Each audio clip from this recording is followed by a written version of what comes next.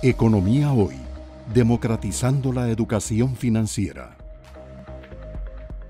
Yo voy a tomar mis 10 minutos para tratar de cuantificar el problema que tenemos, porque obviamente no es un problema pasajero, no es un problema de hoy, sino que es un problema recurrente que se manifiesta en números. Aquí están los datos del déficit fiscal tomando el mes de junio de este año con junio del año pasado. Y podemos ver una caída de la recaudación eh, de ingresos del 30%, donde los impuestos se caen 36%, el IVA un 10%, porque no, no había entrado a regir todavía el, el cambio que se hizo. Vean las utilidades de las empresas, la recaudación es una caída del 40% y mientras tanto los gastos suben un 8%. Eso es lo que nos lleva a una situación donde el déficit primario y el déficit total suben prácticamente a medio punto del PIB en un mes y a un punto del PIB en un mes. Yo fui un poco benevolente, anualicé esas cifras y me da que la caída estimada coincide más o menos con la Contraloría de una carga del 14.8 del PIB de ingresos a un 11.9. La caída es radical, tres puntos, mientras que el gasto apenas se cae 0.2 y eso hace que el déficit primario prácticamente se duplique de 2.8 a 4.2 y que el déficit total a mí me dé de 7% el año pasado a prácticamente 10 puntos. Estamos hablando de una dimensión de faltante de ingresos o exceso de gastos para que todos los costarricenses lo, tengamos claro, de 6 mil millones de dólares anuales. Uno que ha estado en empresa privada es como que el tesorero, el financiero de la compañía le llegara a decir, don Gerardo, en el flujo de caja nos faltan seis meses y hay un faltante de 6 mil millones de dólares.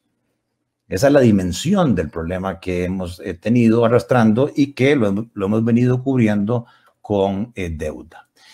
El ministro de Hacienda Antier eh, expone en Asamblea Legislativa o ayer y nos dice que entonces, dado ese déficit y los vencimientos de deuda, las necesidades de financiamiento que antes del COVID se estimaban en 10.6, ahora suben a 14.1.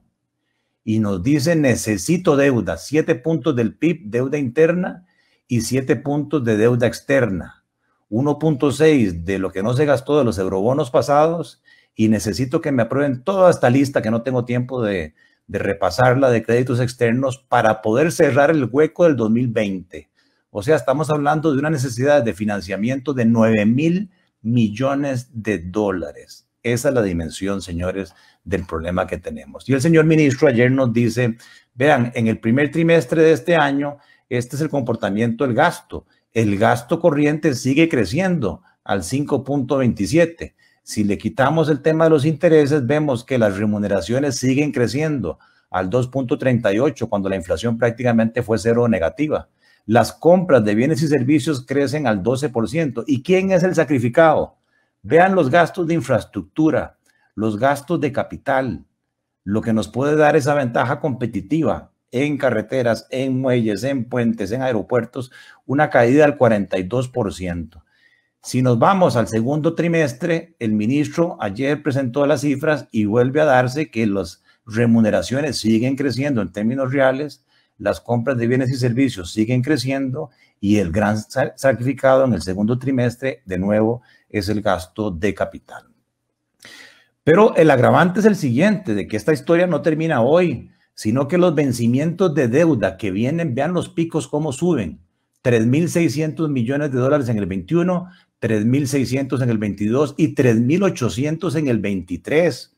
Yo no sé quién quiere ganar las elecciones próximas, pero van a tener una tarea de poder resolver este problema. Para nuestra fortuna, gran porcentaje de esos componentes es deuda interna, a diferencia de los tiempos de Carazo.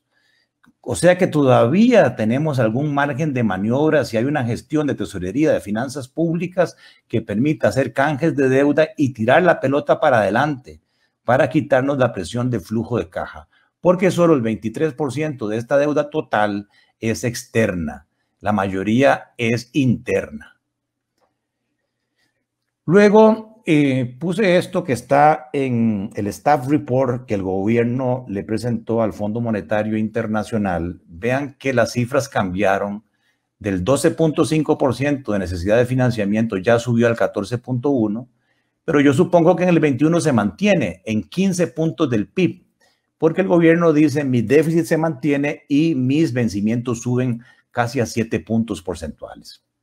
¿Qué va a pasar en el 21?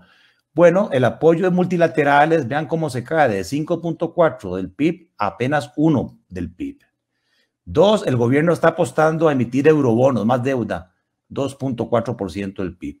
Y la diferencia de 5.4 al doble, llegar a estrujar el mercado interno.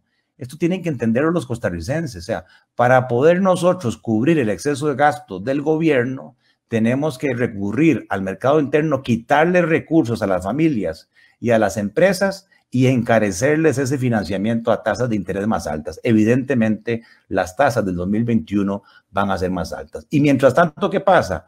Vean este nivel de apalancamiento del 24% del 2008. Hemos venido tapando los huecos, deuda, deuda, deuda, deuda, hasta llegar al 58 el año pasado. Y por mejor que sea la proyección que hace el gobierno central, el nivel de deuda en el 24 estará entre el 75 y el 80% del Producto Interno Bruto. Esto está tomado también de la carta de intenciones que el ministro de Hacienda anterior y el presidente del Banco Central le dieron al Fondo Monetario. Vean que el déficit del 2020 está en 8.7, ya va por 9.3. ¿Cómo piensa el gobierno resolver esto? Según lo que le presentó al Fondo Monetario, más impuestos en el 21, 1.2 del PIB y 0.4 del PIB en el 22, y ley pagar, distribución de superávits a eh, el gobierno de las entidades autónomas, reducción del gasto, 0.5% en el 21 y un 1% en el 22. Por ningún lado hay aquí privatización o venta de activos estatales. Todo es deuda, impuestos y un poco de reducción de gastos. Esto es claro, como a mí me invitaron a este foro para traer cosas eh, no ortodoxas y mover un poco el piso, yo hice un ejercicio muy personal. ¿Qué pasa si nosotros, como cualquier familia, cuando tiene problemas financieros que le van a rematar, de vendo mi casa y me paso a un apartamento, vendo mi carro y me paso a una moto? Bueno, ¿qué pasa si nosotros agarramos VIXA, que tiene una rentabilidad del patrimonio del 5% en dólares, Banco de Costa Rica, que tiene una rentabilidad del 6.8% y una eficiencia, gastos operativos a ingresos del 74%, cuando el estándar mundial es 45, VIXA 63. Tengo el INS, los patrimonios, esto está en millones de dólares, y supongo múltiplos de venta, que eso depende mucho de la negociación, pero son datos que, según mi experiencia, yo puedo extrapolar lo mismo el caso de Colby, alguna información que he obtenido, y eso me daría que en caso de prescindir de esos activos vía privatización, el Estado obtiene 6 mil millones de dólares, que sobre una deuda de 40 mil es meterle un plumazo, una amortización extraordinaria al principal de un 15% y bajar la deuda del 70% al 54%. Que, y además de eso, un ahorro anual de intereses del 1% que si yo hago una perpetuidad al 8%, eso significa casi 7 mil millones de dólares a valor presente de ahorro. Y finalmente, pensemos fuera de la caja, porque hay búsqueda de eficiencia, eficacia y calidad del servicio público. ¿Cómo? Seguir con el esquema de prestar algunos servicios públicos no esenciales con cargo al presupuesto, con más deuda, sin rendición de cuentas, o a un esquema de colaboración con el sector privado a través de alianzas público-privadas, contratos de gestión, gestión interesada, pasando de un Estado constructor con riesgos inherentes a un Estado moderno, planificador y regulador de la alianza público-privada, aprovechando las ventajas de la Ley 7266 e innovando en el sector financiero con figuras de titularización de activos, diversificación del riesgo en lo que es gestión de tesorería, de las operadoras de pensiones, de las compañías de seguros y de los fondos de inversión. O pensamos fuera de la caja o la economía por sí sola se va a ajustar vía mayores tasas de interés, mayor tipo de cambio, mayor desempleo, afectando a toda la colectividad y poniendo en riesgo el Estado social de derecho por proteger supuestamente algunas llamadas joyas de la abuela. Muchas gracias, don Enio. Economía hoy, democratizando la educación financiera.